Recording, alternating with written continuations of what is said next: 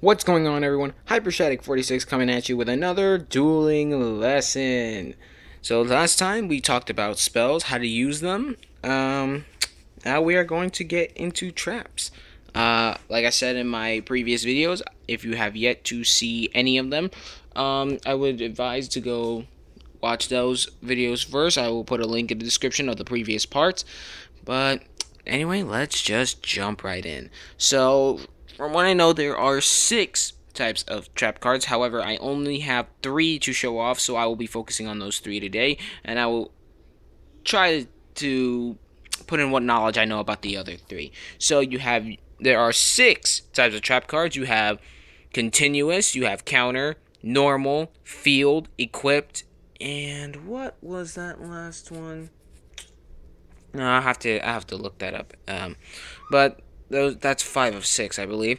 Um, well, let's focus on these three. So you have your continuous. Now, if you watch the spell, the spell video, then I then you will know that the, um, these trap cards will work sort of the same like spell cards, except the difference between these is that trap cards have to be have to be set uh, one for at least one turn. You uh, unlike spells, you can't just activate a trap because a trap has to be set and in order for you to activate, it's basically like activating a trap in real life. You can't just activate a trap right then and there.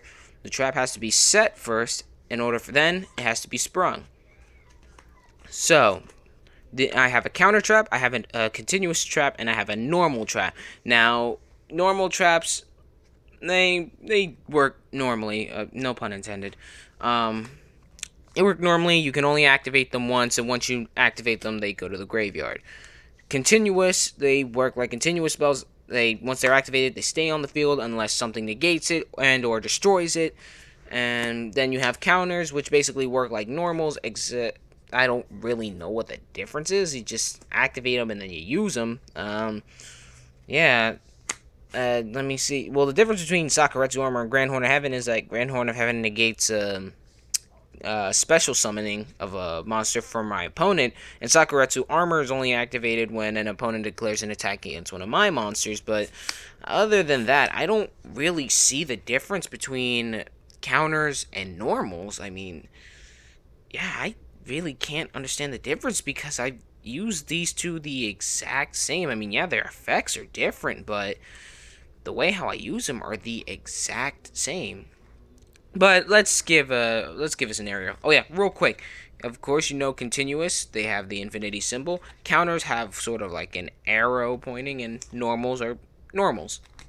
So let's give a scenario. So I'm gonna just set all three, so that way I can use them for right now. So, like before, I'm going to bring out Mystical Elf, and I'm going to bring out Angmarl.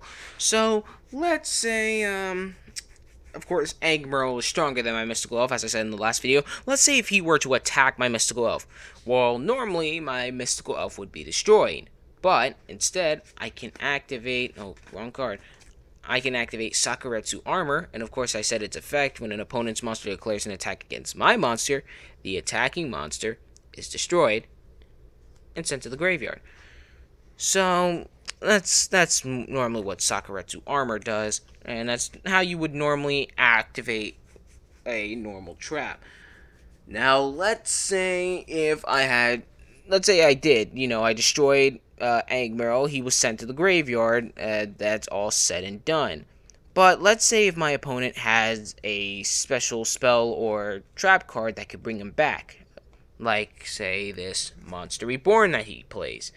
Well, now, Monster Reborn would allow him to special summon him, well, Angmarl the Fiendish Monarch, back from the graveyard. But, I could counter that with Grand Horn of Heaven. Grand Horn of Heaven, which, like I said, it restricts a special summon from a monster, so that means that that Monster Reborn has just been rendered useless, and Angmarl does not come back from the graveyard. And that was, that was an effective counter I guess that's how you could use them. They're basically counters. But I figured normal uh, normal traps could be used the same way.